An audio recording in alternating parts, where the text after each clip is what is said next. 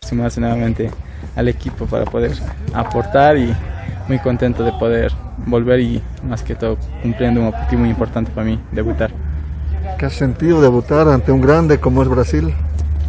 Eh, bueno, muchos sentimientos, ¿no? En un principio, un poco de nerviosismo, después emoción y en el momento del partido también. Eh, bueno, en el momento del partido ya, cuando estás dentro te tratas de desenvolver, no olvidar eh, la magnitud de los rivales.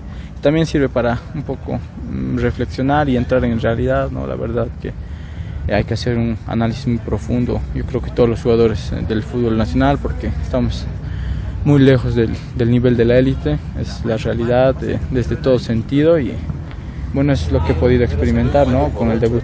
Un sueño que has cumplido, un objetivo que has cumplido, debutar eh, eh, con la selección. ¿eh? Sí, como le digo, para un jugador profesional el hecho de estar convocado ya es muy importante, ya se me ha podido dar en tres ocasiones, bueno, esta vez pudo ser el debut más, que la verdad es lo máximo para mí, me motiva a trabajar mucho más para poder estar a la altura.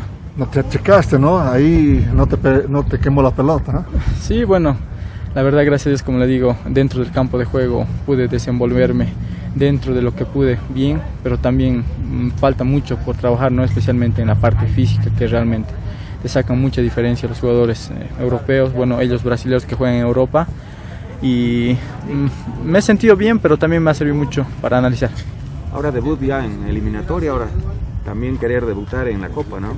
Sí, eh, mi próximo objetivo es poder eh, ser considerado por el profe para poder aportar al equipo una Copa Internacional que, bueno, la verdad que no me había imaginado poder tener eh, las oportunidades para hacerlo a tan temprana edad. He cumplido, la verdad, el objetivo más importante para mí antes, quizás saltándome algunos otros pasos que tenía, pero no quita la importancia que, que, quiero darle a poder cumplir este objetivo. ¿Te sientes maduro o hay mucho por trabajar?